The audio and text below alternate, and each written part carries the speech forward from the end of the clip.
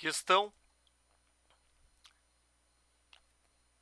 concurso público Universidade Federal Rural do Rio de Janeiro 2012 para o cargo de analista de tecnologia da informação redes. Questão 27. Essa questão aqui muito legal.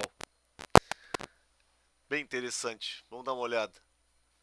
Suponha que durante a fase inicial do controle de condicionamento do protocolo TCP, o slow start, onde vai dobrando né, o número de segmentos conforme as condições da rede, o tamanho da janela de congestionamento seja igual a 1 MSS, tamanho máximo de segmento, e que o MSS seja igual a 500 bytes, e que o round trip time, tempo de ida e volta, seja de 200 milissegundos.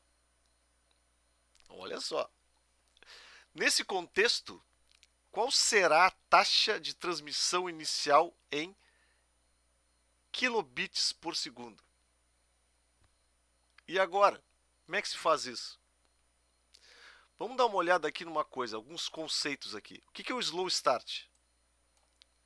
O slow start é uma técnica do TCP onde, ao iniciar a troca de dados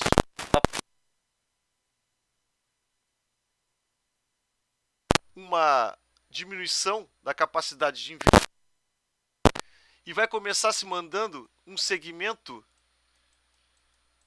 por vez e na medida que vai sendo reconhecido o segmento, vai se dobrando a quantidade de segmentos enviados até atingir o máximo de tamanho de janela. É assim que vai se fazendo. Então vai começando aos poucos, certo? O tamanho da janela é igual a 1 um segmento. E esse segmento tem 500 bytes. Então quer dizer o quê? Que eu vou mandar um segmento de 500 bytes, depois vou mandar dois de 500 bytes e assim vai. O round trip time RTT isso aqui vem a ser o tempo de ida e volta. O que é o tempo de ida e volta? É o tempo de enviar segmento de dados e receber a confirmação. É tipo um ping. Mais ou menos, certo? Não é bem isso aí, não é bem um ping, mas é similar. Ele é igual a 200 milissegundos. O que quer dizer isso?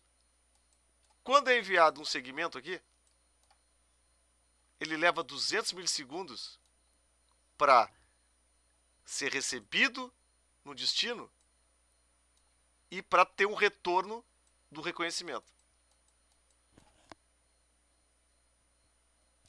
Muito bem.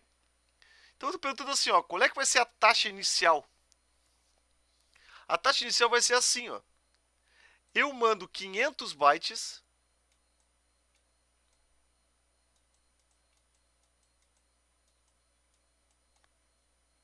a cada segmento e eu tenho um tempo de 200 milissegundos.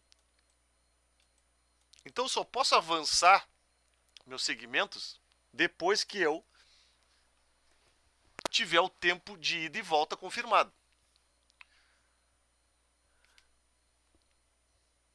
Quantos desses ida e volta eu consigo fazer dentro de um segundo? Porque essa é a medida aqui, ó, é um segundo.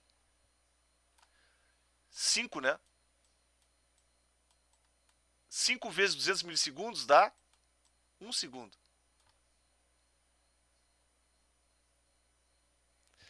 Se eu fizer 5 idas e voltas, eu vou mandar 5 vezes 500 bytes. São 2.500 bytes em um segundo. Esse é o tempo se eu mandar com slow start. Cinco vezes 500, 2.500. Então, qual é a minha taxa aqui? A minha taxa aqui é de 2.500 bytes por segundo. Está se perguntando qual é a taxa em kilobits por segundo. Isso aqui é bits. Como é que eu converto esse cara aqui para bits por segundo? Eu vou ter que multiplicar esse cara aqui por 8.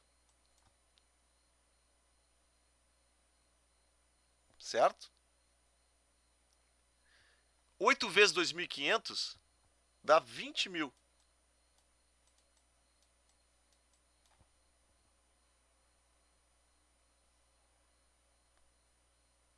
Só fazer o cálculo. Fosse 4 vezes 25 dá 10. Da seria 100, né? 4 vezes 25, 8 vezes 25 dá 200. Mais esses dois zeros, 20 mil. Então a resposta aqui seria D, 20K. Interessante, né? Legal.